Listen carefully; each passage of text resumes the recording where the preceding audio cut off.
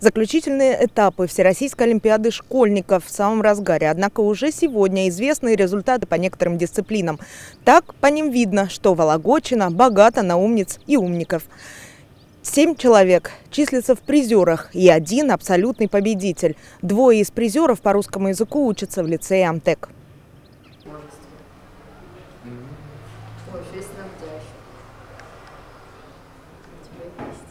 Ребята, которые сейчас стали призерами заключительного этапа, это, конечно, одаренные, талантливые дети.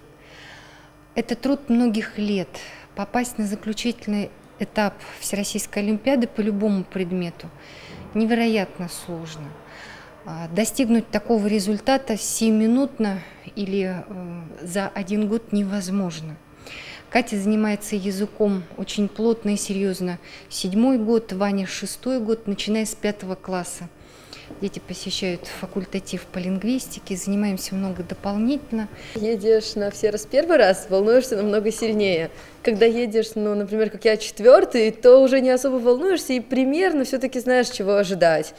Ну, приехали, было сложно, потом долго ждали баллы, потом долгие проверки, долгие апелляции, но в итоге дождались, все хорошо. Для меня это второй все раз по-русскому, и э, вообще с олимпиад, олимпиадами я занимаюсь класса седьмого. Э, наверное, для меня уже притупился вкус э, нерв, нервов вообще никаких нет. Э, скорее поэтому я очень спокойно себя чувствую на олимпиадах, получаю удовольствие от заданий.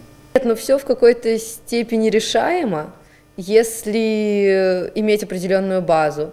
То есть обычно идут сложные задания на древнерусский, но если ты выучил грамматику и примерно понимаешь лексику, то они все решабельны. Все правила, которые э, даются в академических учебниках, вообще в учебниках, э, скорее м, пригодятся в задании по фонетике, поэтому э, очень полезно м, почитать некоторые учебники по фонетике, труды готовиться к региональному этапу, мы начинаем 2 января, у нас традиция. То есть вместо новогодних праздников мы встречаемся здесь и э, работаем, выполняем задания, изучаем что-то новое – какая-то часть идет на самоподготовку, и ты должен как-то собраться, встать и сесть что-то почитать или, может быть, что-то порешать.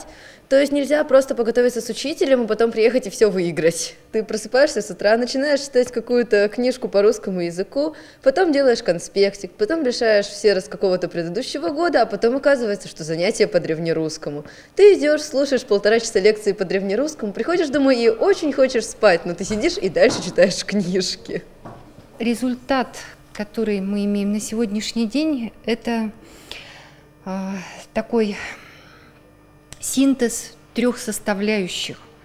Безусловно, одаренность детей, их мотивация, их трудоспособность э, и э, вот, здоровое честолюбие – это, конечно же, э, дом, семья, родители, которые поддерживают во всем детей – помогают им, начиная от выбора школы, мне кажется, это тоже очень важно, а, до поддержки детей, э, когда ребенок изъявляет желание отправиться, например, летом вместо отдыха в летнюю лингвистическую школу, высшей школы экономики, и готовиться там в течение двух недель, то есть решать задачи, встречаться с интересными людьми и э, работать по предмету.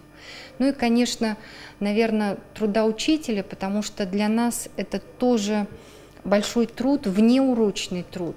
Ну, во-первых, это возможность поступить. Все равно рассматриваешь с этой стороны, когда участвуешь. А так, во-первых, это интересно, то есть это область знаний, которую хочется открыть для себя по-другому. Э, кроме того, это новое знакомство. Еще за счет Олимпиад может поднимать самооценку, показывать, ну, не знаю, показывать, что ты можешь быть лучше кого-то. Слова благодарности, бесконечной благодарности хотелось бы произнести в адрес талантливых детей, которых я в этом году выпускаю, которые будут выпускаться на следующий год. Это учащиеся 10-11 класса и их родителям. Потому что вот только вместе мы можем добиться результата.